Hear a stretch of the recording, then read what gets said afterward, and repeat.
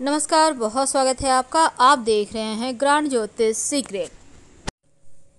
बेलपत्र का पेड़ घर में लगाना अच्छा होता है या बुरा? ये सवाल बहुत सारे लोगों का है। चलिए आज हम आपके साथ साझा करेंगे।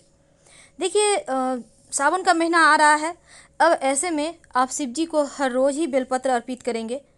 और सावन के महीने में या फिर प्रदोष व्रत के दिन भी आप बेलपत्र अर्पित करें। तो फिर इससे पुण्य ही नहीं सिर्फ़ प्राप्त होता, बल्कि पापों से भी मुक्ति मिलती है। अगर किसी कारणवश बेलपत्र आपको ना मिले तो आप सोना, चांदी, तांबा का बेलपत्र बनवा लें। वैसे आपको सुनार के यहाँ मिल जाएगा। और फिर उसी से आप पूजा करें नित्य दिन शिव जी पर अर्पित करें। भगवान शिव को जब आप बेलपत्र अर्पित करते हैं तो जीवन के हर कष्ट दूर हो जाते हैं। माना जाता है कि बेलपत्र के पेड़ की जड़ में महादेव का वास होता है और इसीलिए इसे श्री वृक्ष भी कहते हैं। और बेल के फल को श्रीफल कहते हैं। बेलपत्र की तीन पत्तियाँ एक साथ होना त्रिदेव के रूप भी माना जाते हैं। और बेलपत्र को लेकर एक किवदंती है कि एक बार पार्वती जी ने अपनी उंगली से अपने ललाट पर आया पसीना पोछ कर फेंक दिया। उनके पसीने की कुछ बूंदें मंदार पर्वत पर गिरी। और उसी से बेलपत्र का वृक्ष उत्पन्न हुआ।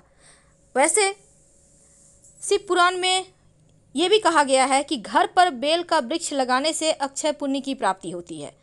मान्यता यह भी है कि जिस स्थान पर बेल का पौधा होता है, वह काशी तीर्थ के समान पवित्र हो जाता है, पूजनीय स्थल हो जाता है और इसका प्रभाव यह होता है कि घर का हर लोग यशस्वी होता है, तेजस्वी होता है, साथ ही ऐसे घर परिवार के बीच प्रेम भाव रहता है। घर में कभी किसी प्रकार की नकारात्मक ऊर्जा नहीं आती।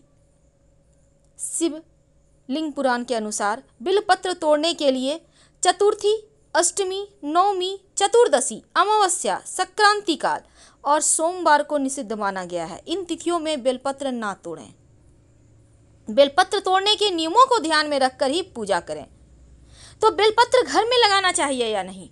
हाँ लगाना चाहिए, लेकिन घर के दरवाजे के बाहर।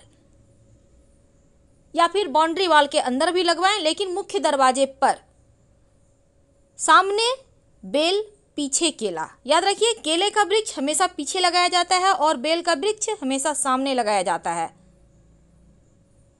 ऐसा घर कभी भी श्रीहीन नहीं होता। ऐसे घर में रहने वाले लोग कभी भी किसी तकलीफ़ में, मुसीबत में नहीं आते। दिन, दूनी, रात चौगुनी तरक्की होता है। शिवलिंग पर बिलपत्र चढ़ाने के पहले पत्तियों पर आप चंदन या अष्टगंध से ओम या फिर नमः शिवाय या फिर राम लिखिए, फिर आप अर्पित करें। आपकी दुर्लभ मनोकामनाएँ भी पूरी हो जाएगी। तो उम्मीद है आप समझ चुके होंगे कि बेलपत्र का पेड़ कहाँ लगाना चाहिए, घर के मुख्य दरवाजे के बाहर, जहाँ भी आपका बाहर या अंदर भी, लेकिन सामने। तो फ़िलहाल आपसे विदा लेते हैं। जानकारी अच्छी लगे तो लाइक कर, सब्सक्राइब करें और ज़्यादा जानकारी के लिए आप हमारे वेबसाइट पर ज़रूर आइए। वेबसाइट का लिंक आपको डिस्क्रिप्शन में मिल जाएगा। आप चाहें तो गूगल सर्च कर सकते हैं ग्रैंड कॉम। धन्यवाद।